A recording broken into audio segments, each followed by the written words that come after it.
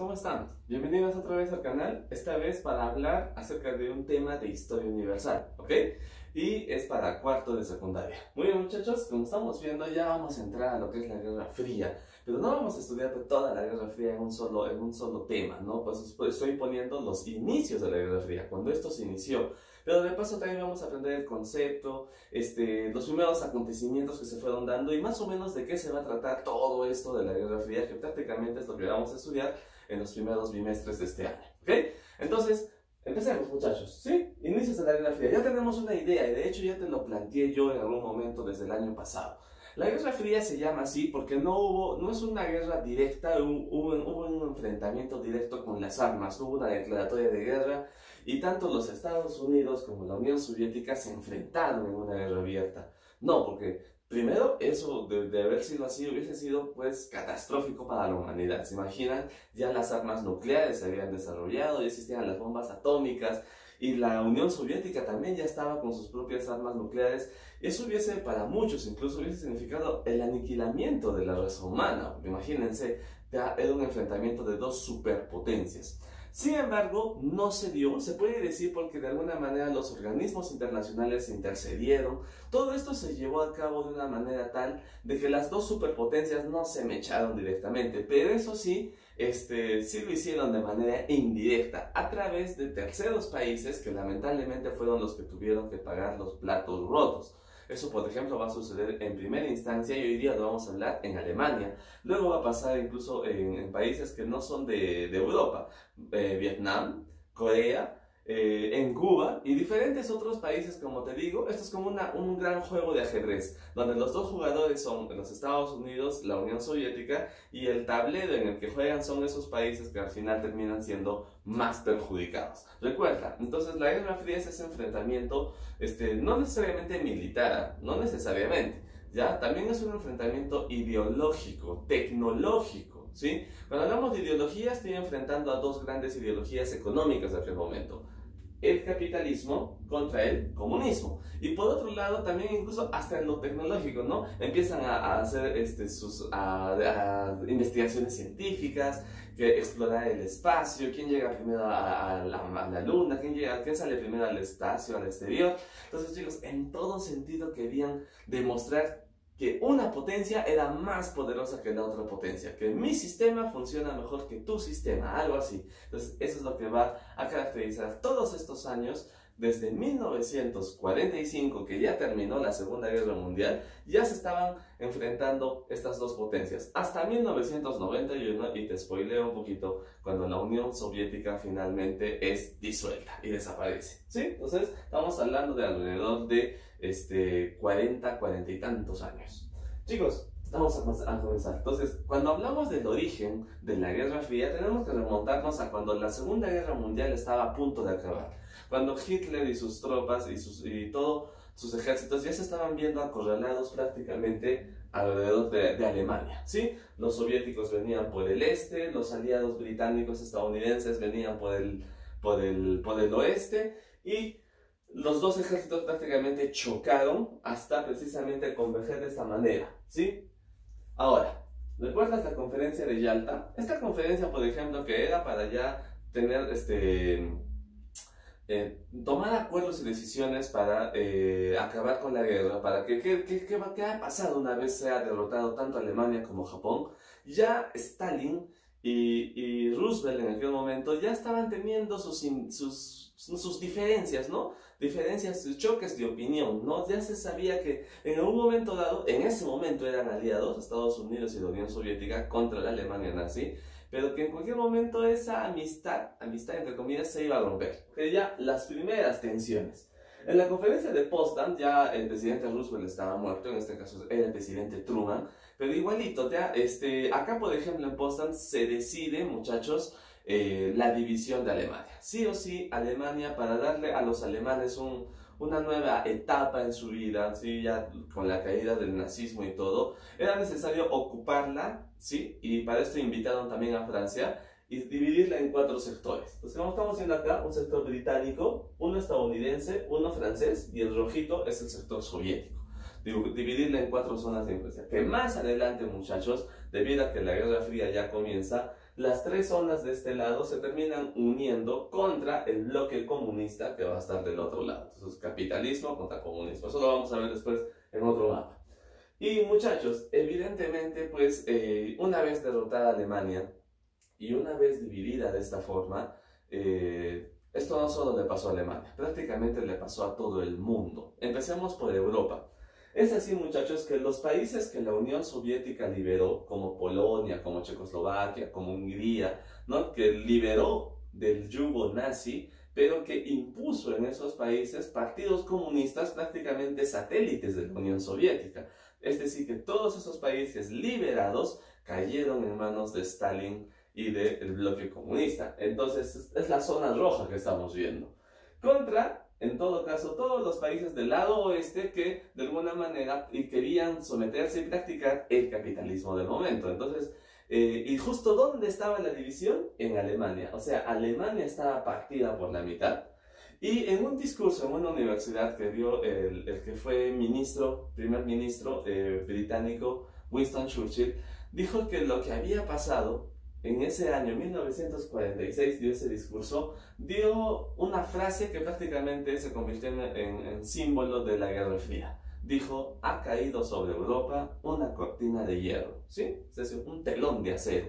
Una cortina de hierro que, eh, invisible, ¿sí? A, a los ojos humanos, pero que en realidad sí ha dividido Europa en dos sectores. Esta línea negra que estamos viendo acá vendría a ser lo que Churchill dijo que era la cortina de acero. Ahora Europa, y no solo Europa, el mundo está dividido. O eres del comunismo o eres del capitalismo. Eres del bloque norte, eh, soviético o del bloque norteamericano. Entonces el primer y el segundo mundo enfrentados, muchachos. ¿Sí? Bien.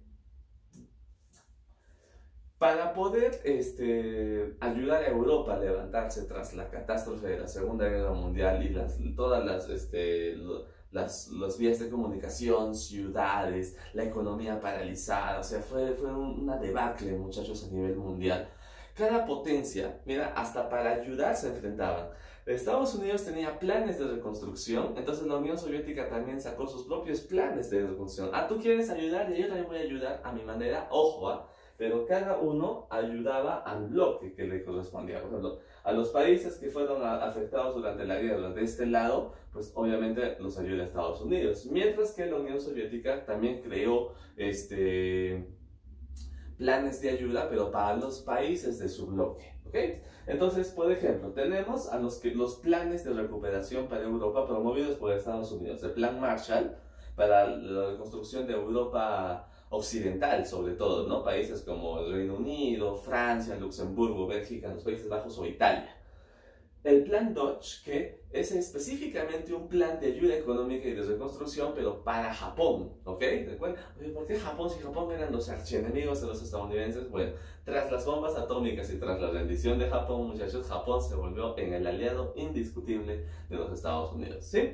Y por eso también, es que, y más la disciplina japonesa y más la ayuda norteamericana, Japón se ha levantado y hoy en día, pues, después de bombas atómicas, de dos bombas atómicas, es una gran potencia económica. La Comunidad Económica Europea, muchachos, eh, también fue un plan incentivado y promovido por Estados Unidos, pero esto más que nada era una manera en que los europeos querían cooperarse, ya olvidarse de siglos, ya olvidarse de siglos de enfrentamientos y de enemistades y empezar a cooperarse unos a otros para ayudarse a salir económicamente adelante. Y Estados Unidos les ayudó, por supuesto, pero solamente al bloque que le conviene ayudar, solamente al bloque que eh, eh, están pues de su lado, ¿sí? Esto se podría decir que son los primeros indicios de una unión entre europeos, ¿sí? Hoy en día ya eh, totalmente se podría decir formada en la Unión Europea. ¿Sí? Por el otro lado, entonces, la Unión Soviética también prestó sus planes de ayuda, obviamente bajo la estructura socialista, Primero estuvo el Plan Molotov, que es una ayuda económica y de reconstrucción, pero para los países del lado este de Europa, es decir, los países que habían caído bajo su influencia. Eh, no obstante, chicos, el plan Molotov sí resultó y ayudó a levantar, y sobre todo los países del este fueron los que más daño sufrieron durante la Segunda Guerra Mundial. Por otro lado está el Comecon, que es una, eh, una ayuda económica, ¿sí? en realidad es una comunidad económica que eh, surgió en 1949 para, una vez más, ayudar al bloque del este. Bien muchachos, pero ahora vamos a dejar de hablar de ayuda y vamos a hablar directamente a un enfrentamiento militar. Pero ¿cómo profesor si usted dijo que la Guerra Fría no hubo, no hubo fuego abierto? Bueno, no lo hubo en, en sí directamente Estados Unidos contra la Unión Soviética. Pero sí he dicho que va a haber guerras. O sea, no es que estos cuarenta y tantos años no va a haber guerras, que el mundo va a vivir en paz. Entonces, ¿por qué se llamaría guerra? Pues no, sí hubo guerras, hubo guerra, hubo enfrentamiento, pero este, en países terceros. Así que cada uno de estos bloques se fue organizando y preparándose con, la, con un armamento así, armándose hasta los dientes, en caso llegue a haber una guerra, en caso se lleguen a declarar la guerra. Entonces, muchachos, a esto se le llama la carrera armamentista, ¿no es cierto? Ah, tú tienes mejores tanques, yo voy a comprar más. Ah, tú tienes bombas atómicas, yo voy a comprar cinco más. Entonces, se están enfrentando los dos, no directamente, pero sí, esta es una guerra de nervios. Imagínense cómo vivía la gente de los años 50, 60, 70, tus abuelos, tal vez tus padres, sabiendo que en cualquier momento la guerra comenzaba y que probablemente sería la última guerra del género humano. O sea, era una guerra de nervios, lo repito.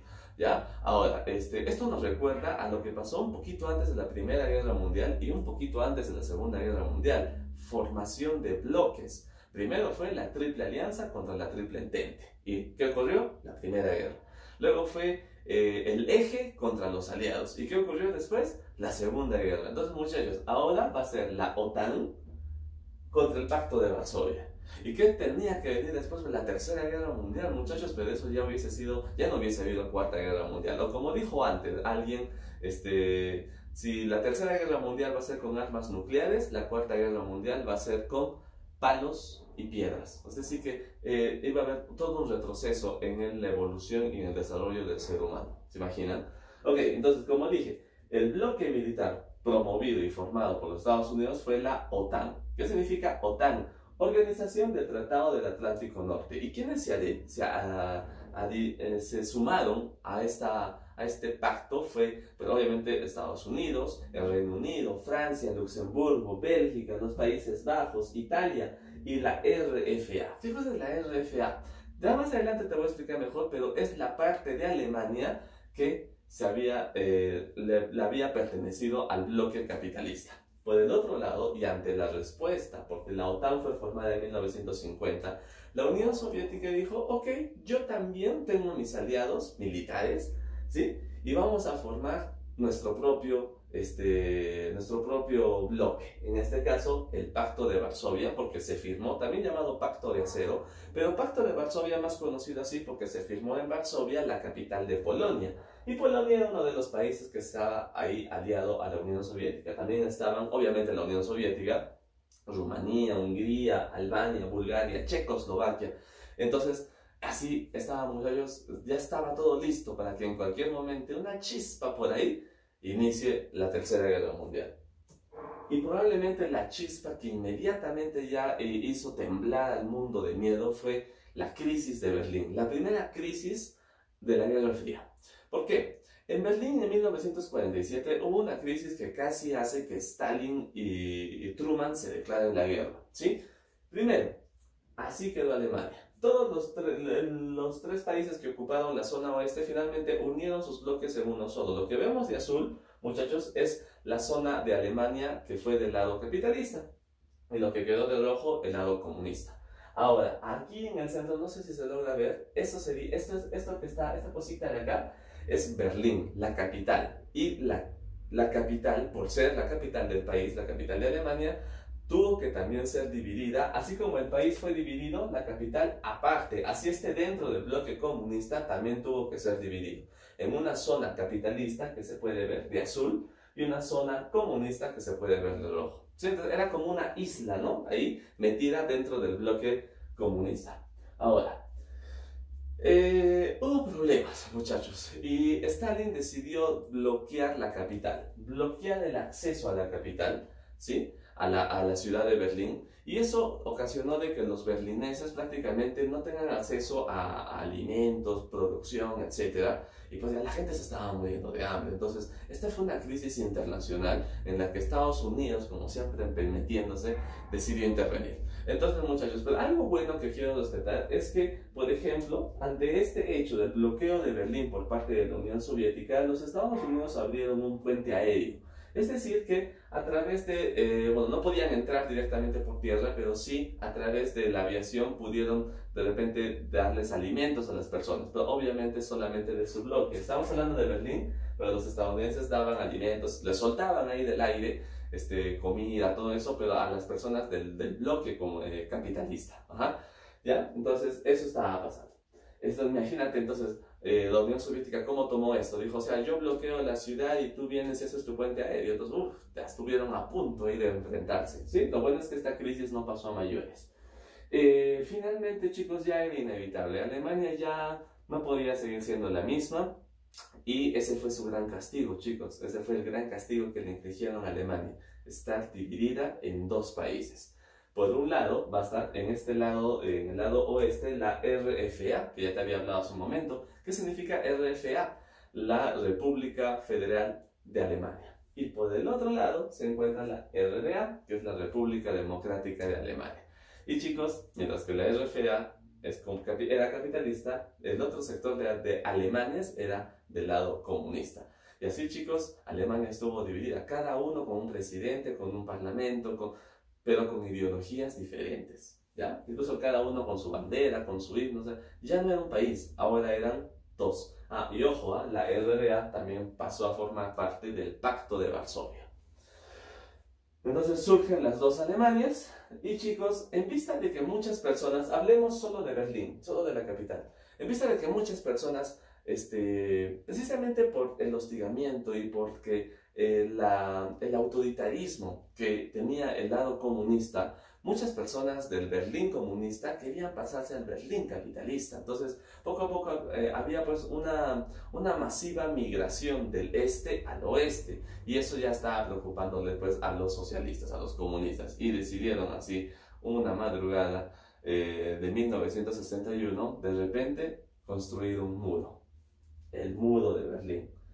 Y muchachos, pues esta va a ser la parte triste de la Guerra Fría, porque el muro de Berlín, construido en 1961, dividió a la ciudad. Ya no estoy hablando del país, ya no de la ciudad. Dividió a la ciudad, o sea, ya no simplemente imagínense una avenida cualquiera de la ciudad, ¿ya? Y ahí, ahí construyen un muro.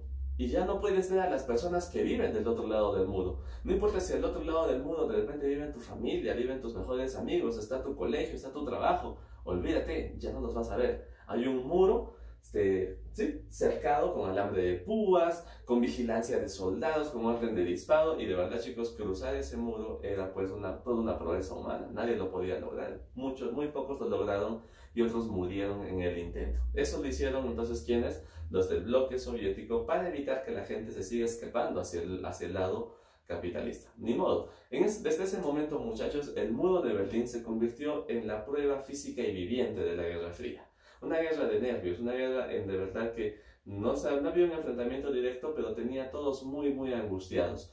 Hasta mientras que el muro de Berlín siga existiendo, la Guerra Fría se iba a seguir dando, lamentablemente. ¿Sí? Bueno, pero hay buenas noticias, muchachos. Ese muro dejó de existir en 1989, pero sí es otra historia, ¿ok? Entonces, una, el muro de la vergüenza también le llamaban, ¿no? Al muro de Berlín. Alemania dividida y realmente triste para el pueblo alemán muchachos, eso sería todo. Hay más acontecimientos de la Guerra Fría. Este año vamos a hablar de la Guerra de Corea, de la Guerra de Vietnam, de la Revolución China, de la Revolución Cubana. Hay muchos aspectos, muchachos, que vamos a hablar, pero ten en cuenta que siempre va a haber este enfrentamiento. ¿Sí? Si vamos a hablar de la Revolución China, esto va a estar de trasfondo. Vamos a hablar de repente de eh, el surgimiento del Estado de Israel, esto va a estar de trasfondo. Vamos a hablar de la Revolución Cubana, de, las dictaduras en Latinoamérica, pero siempre va a estar como trasfondo, como fondo de pantalla, algo así, la Guerra Fría. Indirectamente eso caracterizó a los, años 50, 60, 70 y 80 también. ¿Sí? Eso sería todo chicos, estamos viendo entonces en las actividades, cuídense mucho, chao.